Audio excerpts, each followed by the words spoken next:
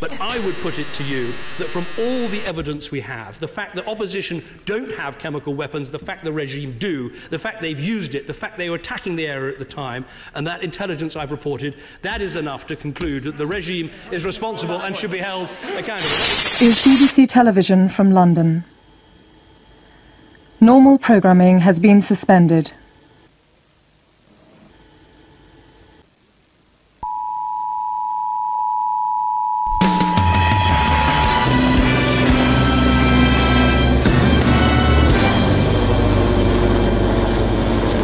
Good evening. This is BBC Radio 2 News at 6 o'clock on the 25th of August, with me, Chris Hayden Smith. Parliament was suspended today after reports of the wildfire virus had spread to central London. Prime Minister David Cameron has been sent to a safe location, but has advised all to stay safe.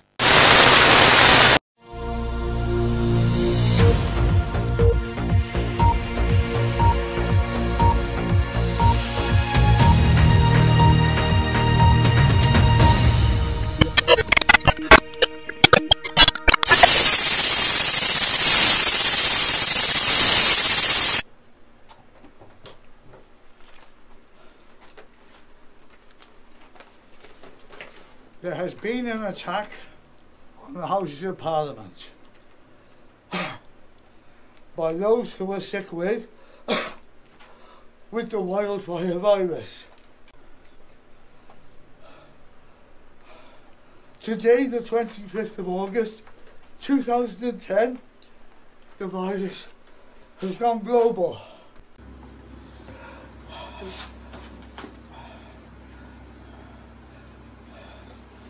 There is no no cure. Currently, there is no known cure. However, radiotherapy is suggested to, to cure the virus. However, this is still under development.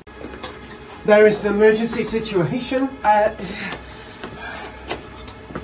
to continue, The uh, Prime Minister and his cabinet have been safely evacuated from the Houses of Parliament.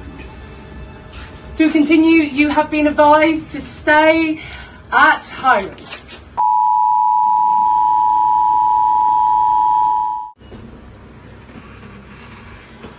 Medical officer is ill. I, I believe he's ill with the virus. I think we, we need to get him help. No, move on. No, no, no, no, not yet. What's- not yet. what's- Move, move, move. What's going on out there? We must leave. We must. We may have to leave him here. Why? He's ill. What can we do? We need to get help. This is all fucking bollocks. Move on. Move, move, move. No, no, nothing here. No, sorry.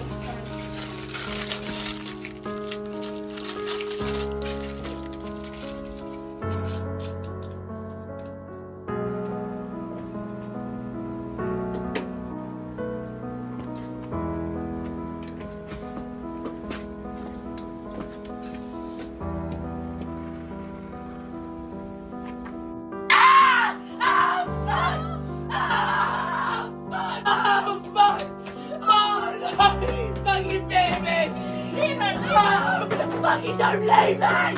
Where are you going? Oh, run! He's bit! He's fucking! Oh, someone help me! Help me! He's fucking me! Oh, fuck! Ah! Ah! I fucking hurt! Help me, please! Please help me! Please, please help me! Help me! Help! me! Please! No! Stop!